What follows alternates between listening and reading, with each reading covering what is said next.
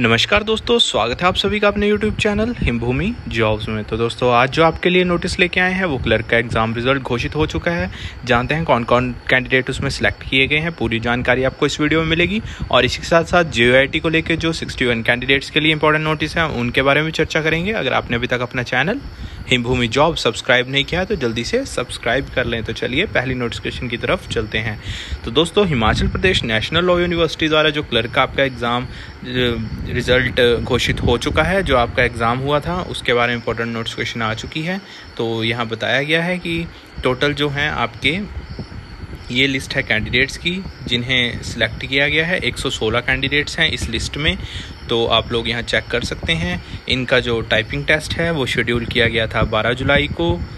तो अब जो इनका इंटरव्यू कंडक्ट करवाया जाएगा, जो कि आपका 16 से 17 अगस्त 2022 को कंडक्ट करवाया जाएगा। तो यहाँ बताया गया रिपोर्टिंग टाइम 9 बजे का रहेगा आपका, और bring your all important documents original form में आपको अपनी मार्कशीट, डिग्री, एक्सपीरियंस सर्टिफिकेट सब लेके एच पी में उपस्थित होना है। तो ये था आपका क्लर्क का रिज़ल्ट। तो यहाँ पे आप चेक कर सकते हैं, अपना रोल नंबर और अपना नाम, जिन जिन कैंडिडेट्स की यहाँ सिलेक्शन हुई है।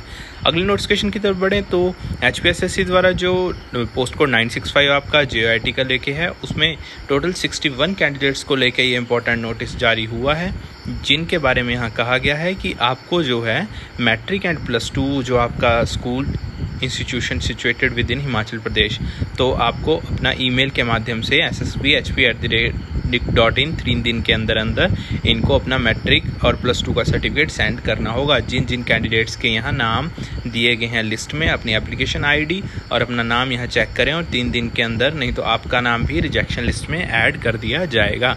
तो ये थी इंपॉर्टेंट नोटिफिकेशन आज की। तो ऐसे इंपॉर्टेंट नोटिफिकेशन के लिए अपने चैनल हिमभूमि जॉब्स को सब्सक्राइब करें। धन्यवाद। जय हिंद। जय भारत।